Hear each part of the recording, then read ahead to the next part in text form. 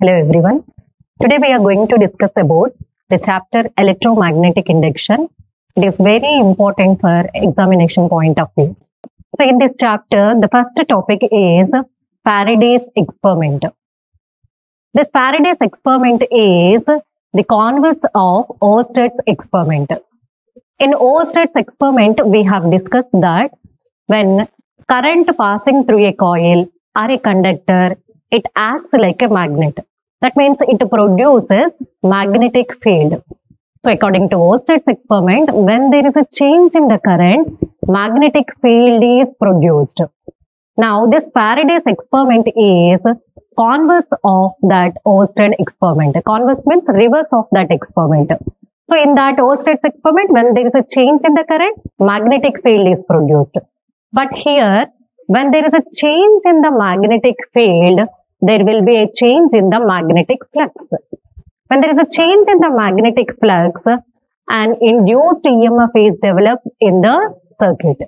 This induced EMF is called induced electromotive force and this phenomena is called as electromagnetic induction.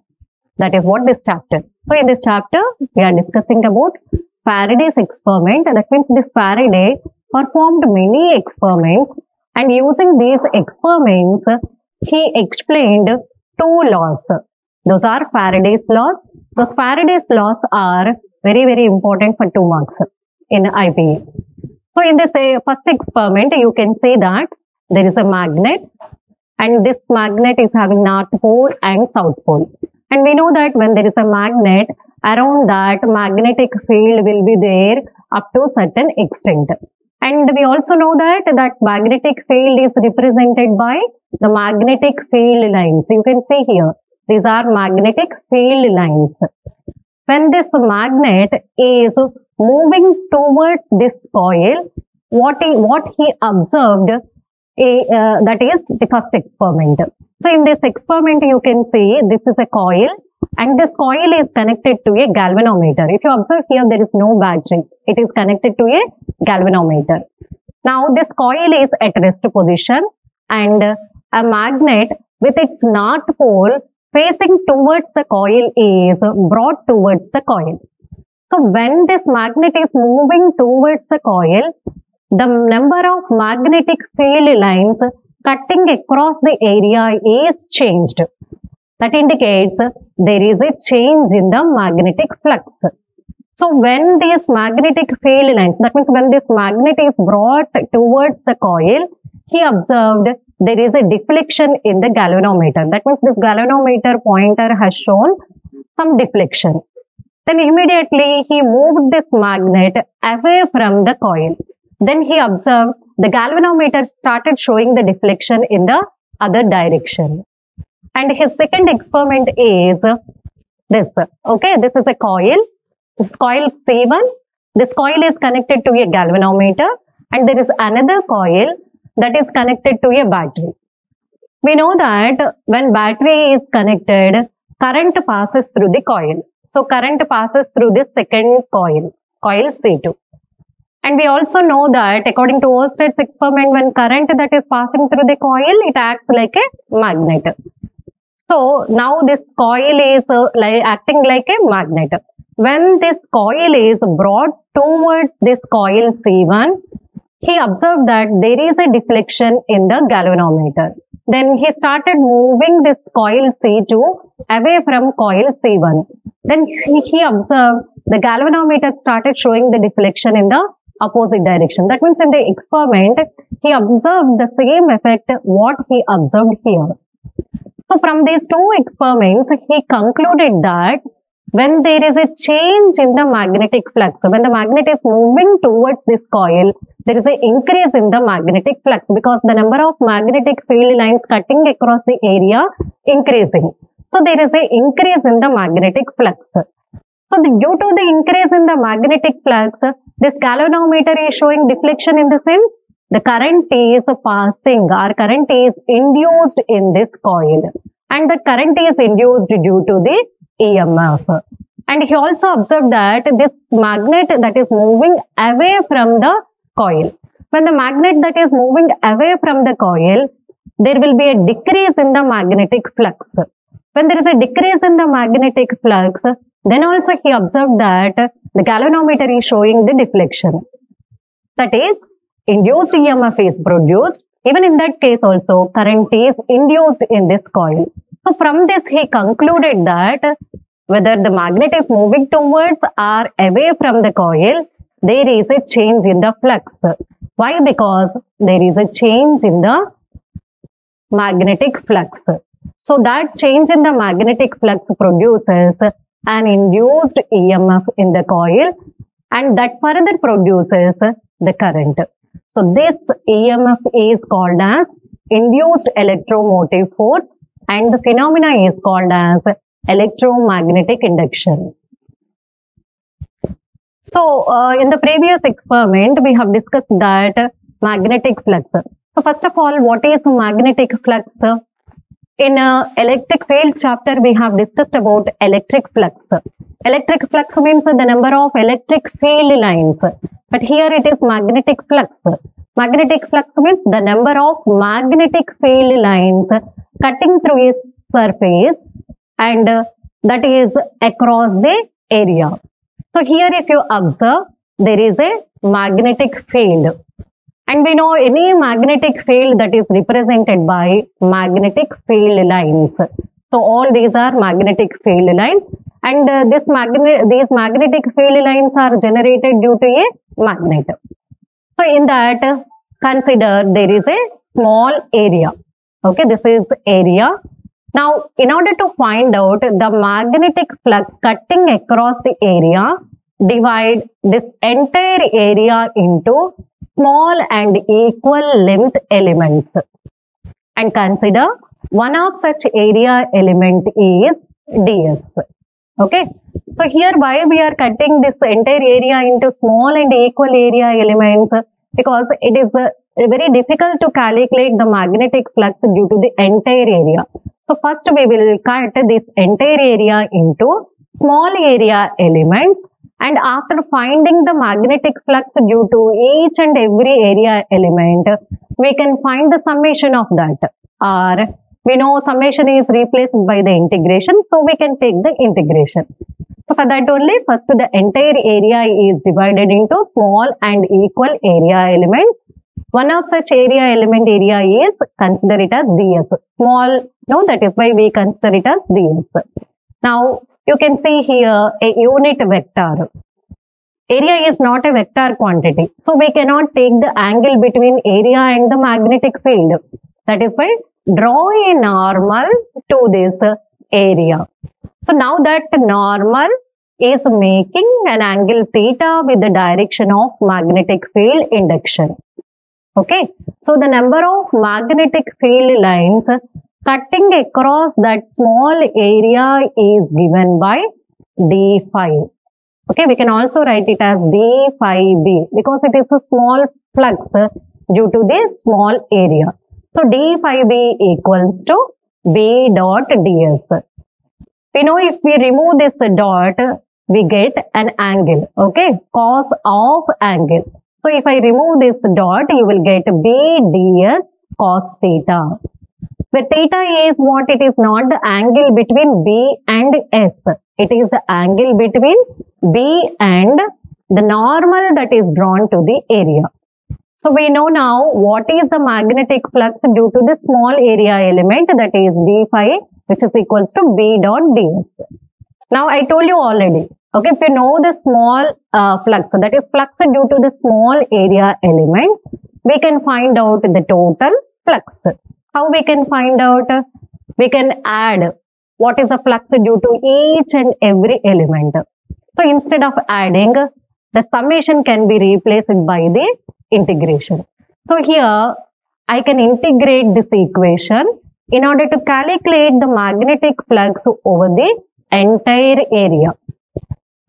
So the magnetic flux due to the entire area is obtained by integrating this equation. So integration of d phi equals to integration of b dot ds. Integration of d phi is what? It is phi. So phi equals to integration of b dot ds. I told you already if we remove this dot, what you will get? Cos theta. So phi equals to integration of B ds cos theta. So this is the expression for magnetic flux. So this amount of magnetic flux depends on this angle. Okay. So if this angle that is theta equals to 0, if this normal drawn to this area is let us say parallel to the magnetic field. If this normal drawn to the area is parallel to the magnetic field, theta is 0. If theta is 0, we get cos 0. What is cos 0? It is 1. So we get phi is integral of b, dot, b ds. So we get b s. So when there is no angle, when theta equals to 0, the flux is maximum which is bs.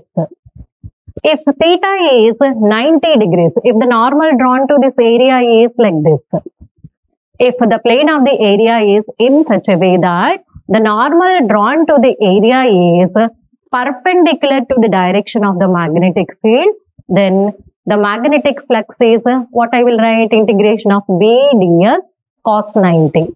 Cos 90 is 0. So the flux is 0. So in this way, depending on the, the direction of the area and the magnetic field, this flux will change. And this flux is a scalar quantity. The unit of magnetic flux is Weber or it is Tesla meter square. So this is about magnetic flux. So already we have discussed what Faraday he has concluded with his experiments. From both the experiments, he concluded that when there is a change in the magnetic flux, an EMF is induced. That is what Faraday's first law. So according to Faraday's first law, whenever the magnetic flux linked with a circuit is changed, an EMF is induced in the circuit. This is Faraday's first law. So what we are saying here that we are writing in equation form. That is what Faraday's second law. See what here uh, we are saying that there is a change in the magnetic flux. Change in the magnetic flux in the sense it can be increase in the magnetic flux or decrease in the magnetic flux. The increase or decrease in the magnetic flux is denoted by d phi by dt in mathematical form. d phi by dt indicates change in the flux with respect to time. And what we are saying here, when there is a change in the flux linked with a circuit, EMF is produced. So the EMF is denoted by E. Okay.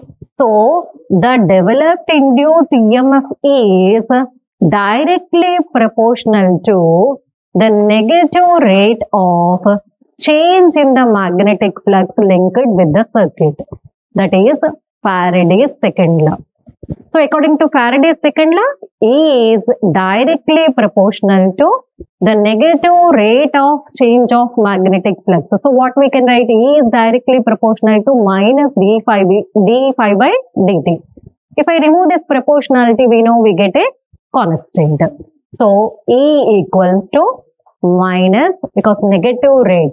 So minus constant n into d phi by dt. Actually, this n indicates the number of turns in a coil. We know that when there is a change in the flux in a coil, if the coil is consisting of only one turn, I'll substitute here n is 1, so E equals to minus d phi by dt only you will get. If there are three turns, then E is how much? It is directly proportional to minus d phi by dt in each and every coil. The d phi by dt indicates in each and every coil. So if there are three turns, we substitute 3 here. So E equals to minus 3 d phi by dt we write. That means here the induced EMF is also depending on the number of turns.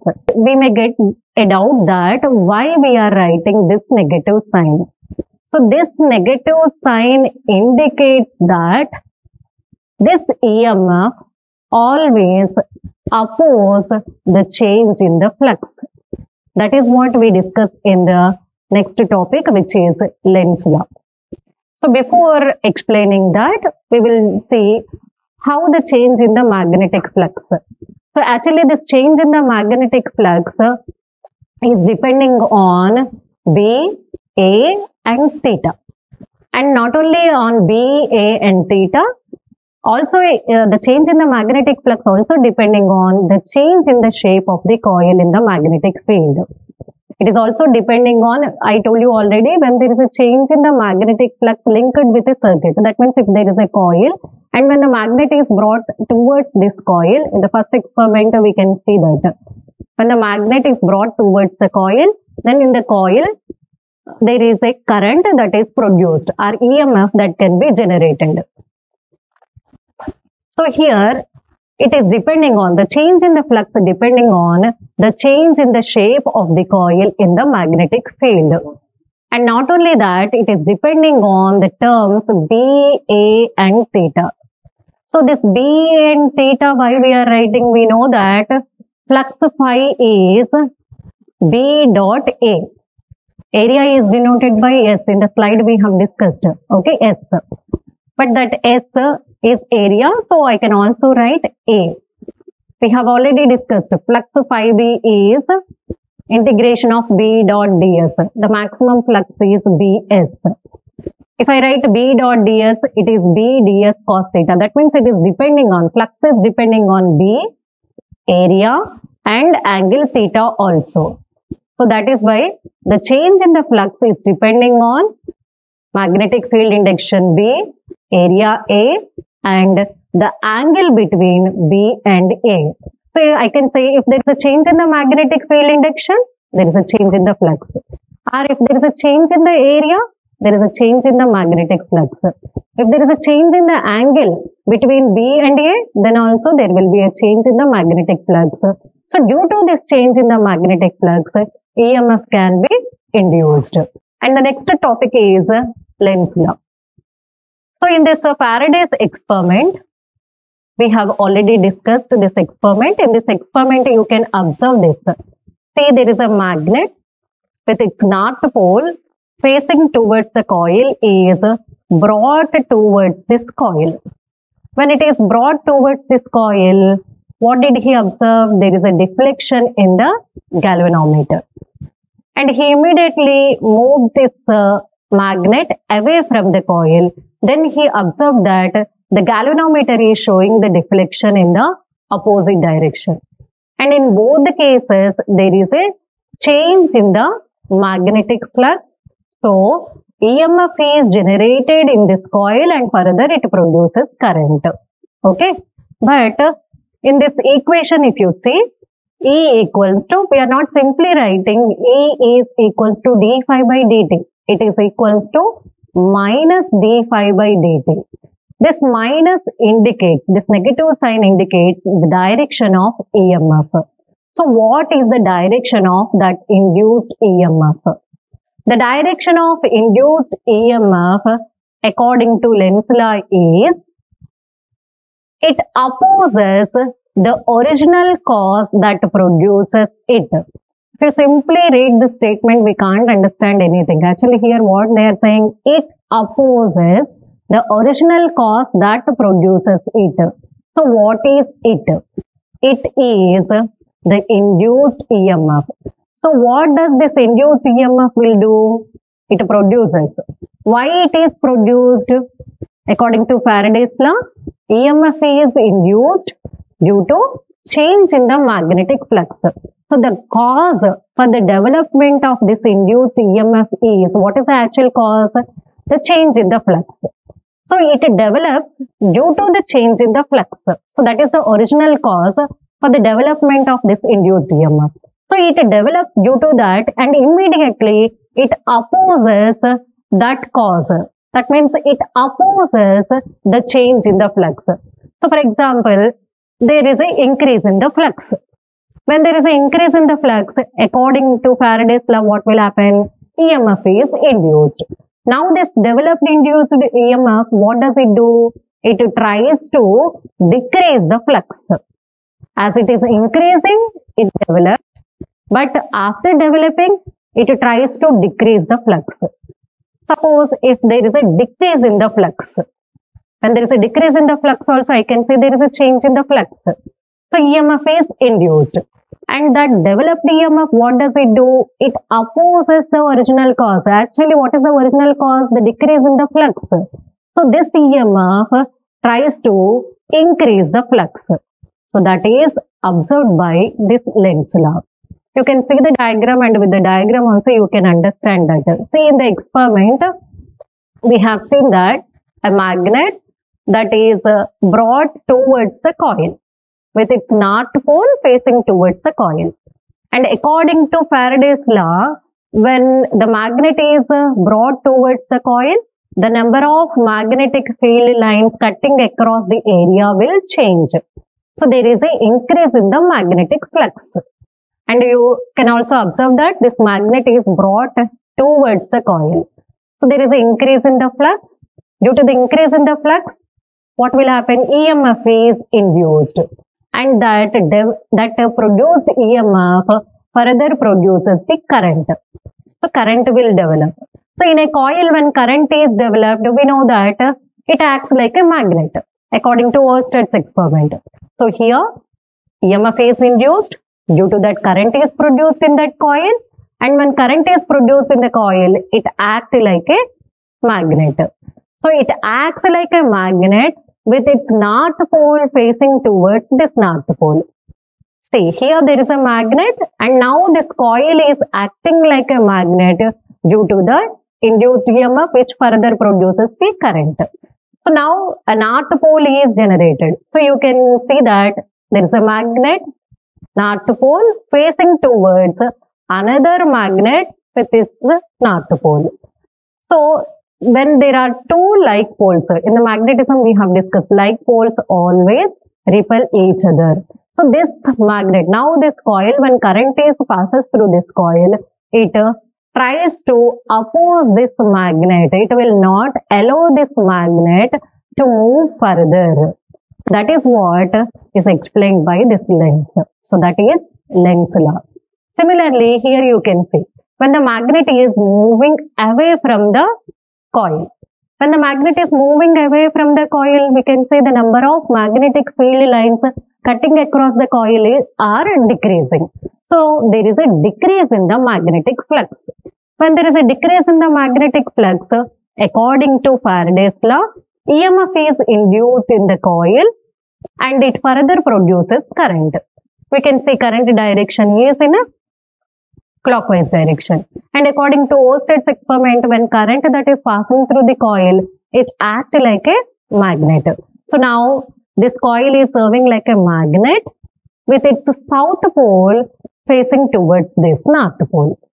So here magnet is moving away and this is now a magnet with its south pole facing towards this north pole, north and south. So both are unlike poles. And we know unlike poles attract with each other. So this tries to bring this magnet towards. Actually, it is moving away. But because of this induced current, it acts like a magnet and a south pole is generated. So it tries to attract it. So this is what Lenz law.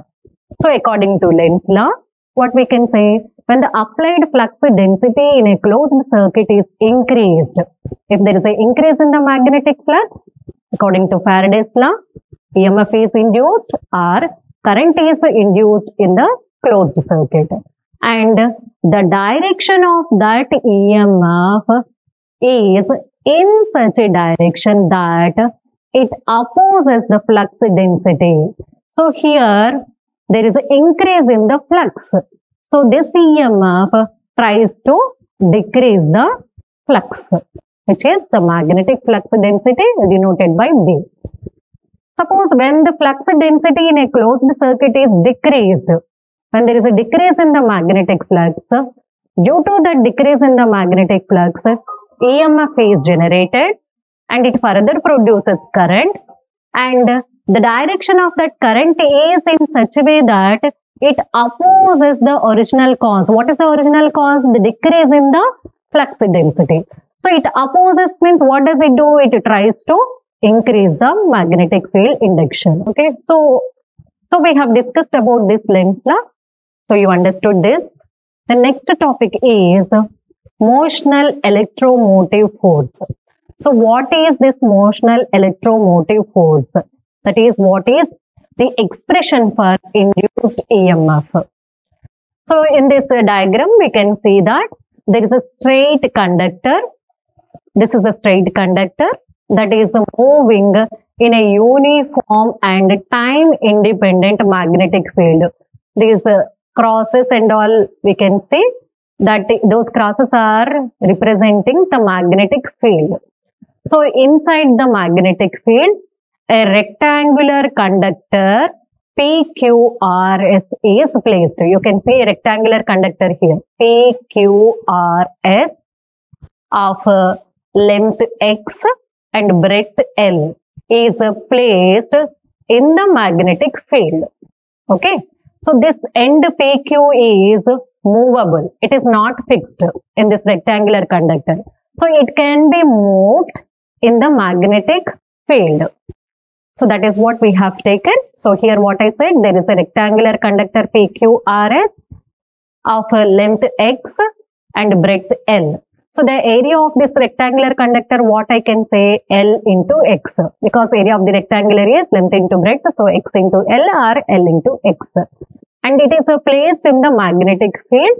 And what is the one more condition that one end of this rectangular conductor is movable. That means this rectangular conductor PQ is moving in a time independent magnetic field.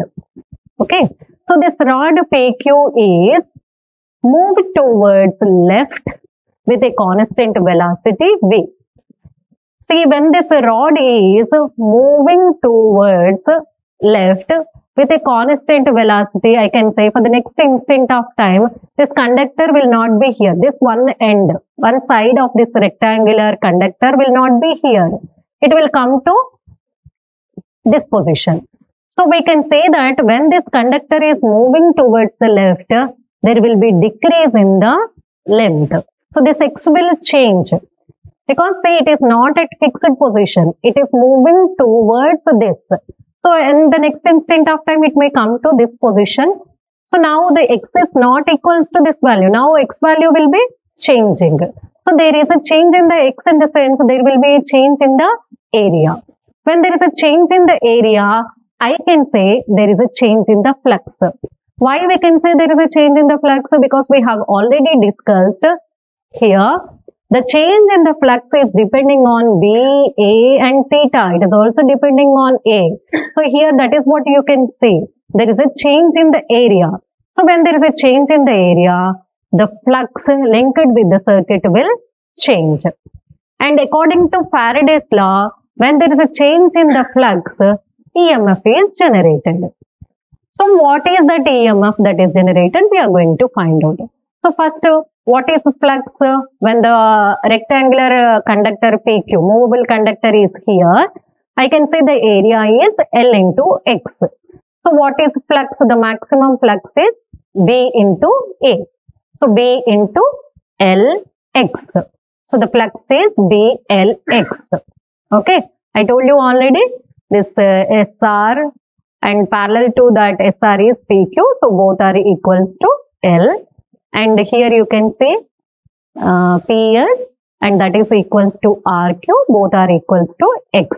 So area of that rectangle PQRS is L into X and it is placed in the magnetic field. So the magnetic flux cutting across this area LX is BLX. Now this PQ is moving with a velocity V. So there is a change in the area. This change in the area produces the change in the flux because area is changing. So there will be a change in the flux. And according to Faraday's law, when there is a change in the flux, an EMF is induced. And what is Faraday's second law? E equals to minus d phi by dt. Here flux is changing. Okay. So EMF is generated. According to Faraday's law, E equals to minus d phi by dt. What is phi here? BLX. that you substitute in this equation. So if I substitute this equation here, what I will get E equals to minus d by dt of BLX. Okay. So if you observe this magnetic field induction is constant, length is not changing. So that is also constant. So I cannot differentiate that with respect to time. So those two are constants with respect to time. So what is changing with respect to time? This x is changing because this one end PQ, we are moving in this direction towards left with a velocity v. So there is a change in the x value. So I can differentiate only that x. So minus dl, we get dx by dt. dx by dt is what the rate of change of displacement. We know the rate of change of displacement is velocity. So this is v, we get E equals to minus blv. So the expression for motional EMF is E equals to minus blv. Here I did not write negative sign because we know negative sign indicates that the direction of EMF. According to Lenz's law, the direction of EMF is what? It opposes the original cause that produces it. Here actually E is developed due to motion of this PQ. So this EMF will develop and it opposes this motion of PQ. Okay.